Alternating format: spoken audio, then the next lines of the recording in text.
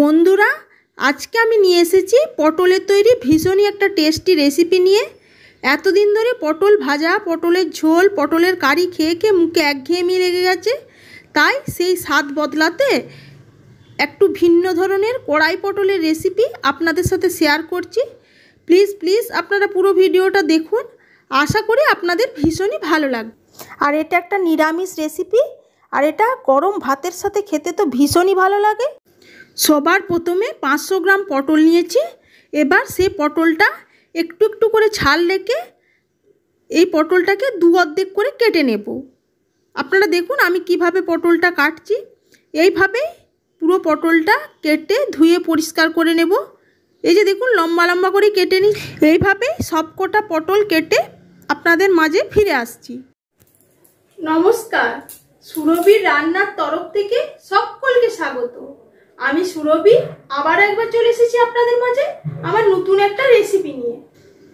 সবকটা পটল আমার কাটা হয়ে গেছে। এবার এর মধ্যে ওয়ান ফোরটি চামচ কাশ্মীরি লঙ্কার গুঁড়ো ওয়ান ফোরটি চামচ হলুদের গুঁড়ো আর পরিমাণ মতো নুন দিয়ে পটলটা ভালো করে নুন, হলুদ, লঙ্কার গুঁড়োটা পটলের মধ্যে মাখিয়ে নেব। এবার রান্নাটা করার জন্য গ্যাসে কড়াই বসিয়ে দিয়েছি।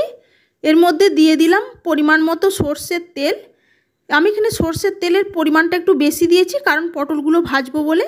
তেলটা গরম হয়ে গেলে এর মধ্যে ওই ম্যারিনেট করা পটলগুলো, যেটা হলুদ গুঁড়ো, লঙ্কা গুঁড়ো, নুন মাখিয়ে রেখেছিলাম, সেই পটলটা দিয়ে দিলাম ভাজা হওয়ার জন্য। এবার পটলটা ভালো মতো ভেজে নেব।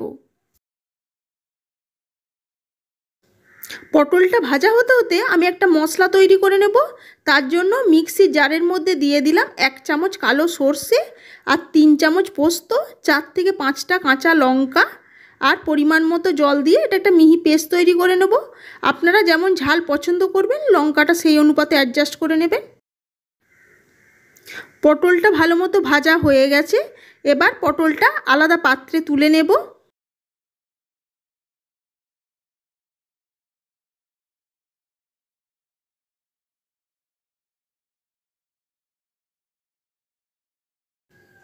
এবার পটল ভাজার ওই তেলটার মধ্যে হাফ চামচ পাঁচ ফোড়ন, ফোড়নে দিয়ে ফোড়নটা তিরিশ থেকে চল্লিশ সেকেন্ড ভেজে নেওয়ার পর এর মধ্যে দিয়ে দেব হাফ চামচ আদা জিরে ধনের পেস্ট।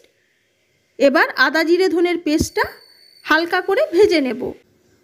আর এই অবস্থাতে দিয়ে দেব ওয়ান ফোরটি চামচ কাশ্মীরি লঙ্কার গুঁড়ো, ওয়ান ফোরটি চামচ হলুদের গুঁড়ো।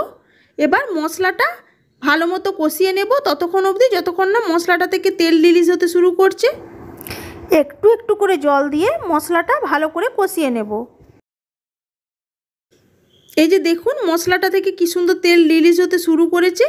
এবার এর মধ্যে দিয়ে দিলাম ভেজে রাখা পটলগুলো। এবার পটলগুলো মশলার সাথে মিনিট দুই তিন সময় ধরে ভালো করে কষিয়ে নেব।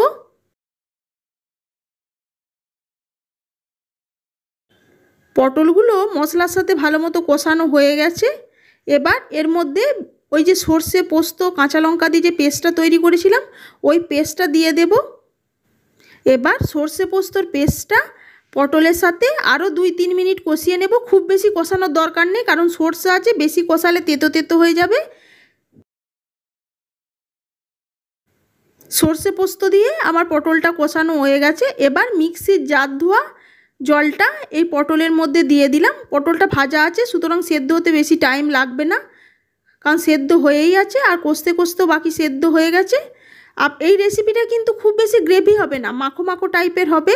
এটা একটা নিরামিষ রেসিপি গরম ভাতের সঙ্গে খেতে তো ভীষণই ভালো লাগবে। এবার দিয়ে দিব পরিমাণ মতো নুন। নুনটা আপনারা আপনাদের স্বাদ অনুযায়ী অ্যাডজাস্ট করে নেবেন।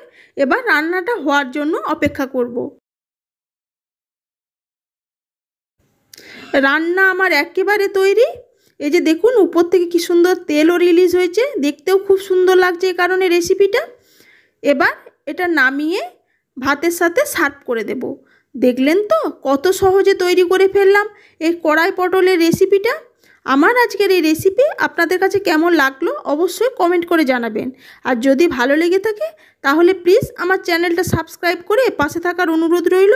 আজ তাহলে এই পর্যন্তই। আবার হাজির হয়ে যাব নতুন কোনো রেসিপির সাথে। সবাই ভালো থাকবেন, সুস্থ থাকবেন। ধন্যবাদ।